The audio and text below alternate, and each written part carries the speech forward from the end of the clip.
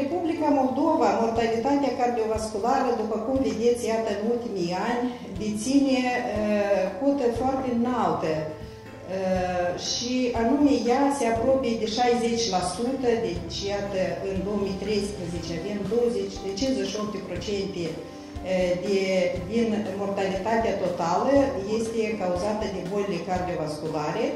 Bolile cardiovasculare sunt cele mai răspândite, au o incidență mai mare și nu numai, dar și că ele sunt cauza principală din deces în majoritatea țărilor, țărilor europene, țărilor de peste ocean, inclusiv și în Republica Moldova. Nu totdeauna tratamentul joacă un rol important, cât metodele de profilaxie, atât primară cât și secundară, pot reduce eh, considerabil atât incidența cât și decesul uh, din cauza patologiei cardiovasculare. Noi avem în jur de 40% din populație care suferă de hipertensiune arterială și, atenție, 76 la ei, din ei nu primesc la momentul evaluării pacienților niciun tratament antihipertensiv. Avem uh, deci compleanță la tratament care, din păcate, pacienții hipertensivi abandonează terapia dacă le se face mai bine. Scopul principal al medicinei este eradicarea mortalității cardiovasculare globale.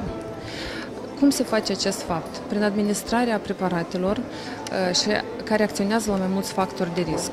Compania Gedeon Richter astăzi lansează un produs nou, Duplecor, care este o combinație dintre atorvastatina și amlodipină. O singură pastilă acționează asupra al doi factori de risc. Este ceva unical, este o combinație unică în Republica Moldova și suntem mândri că noi suntem pe piață primii care venim cu această combinație. Aceasta ne va permite să salvăm mii de vieți. În mâna medicului este acest instrument, acționează asupra hipertensiunii arteriale, asupra hipercolesterolemiei care duce la mortalitate prin AVC sau infarct și compleanța. Cu cât mai puține medicamente are de primit pacientul, cu atât putem fi siguri că el o să-l administreze și va fi protejat de riscuri.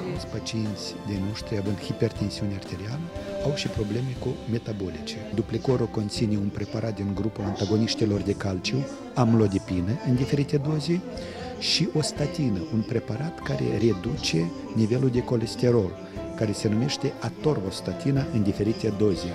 Deci, cu un glonte omorâm mai mulți iepuri, așa îmi spune. Deci, cu un preparat batem în mai multe patologii, atât în hipertensiune arterială, cât și în nivelul înalt de, de colesterol și o particularitate a acestui preparat că ar fi binevenit în deoseb la pacienții cu sindrom metabolic, pentru că aceste două preparate nu influențează negativ metabolismul pacienților. Noi considerăm că el își va găsi o utilizare largă la pacienții noștri.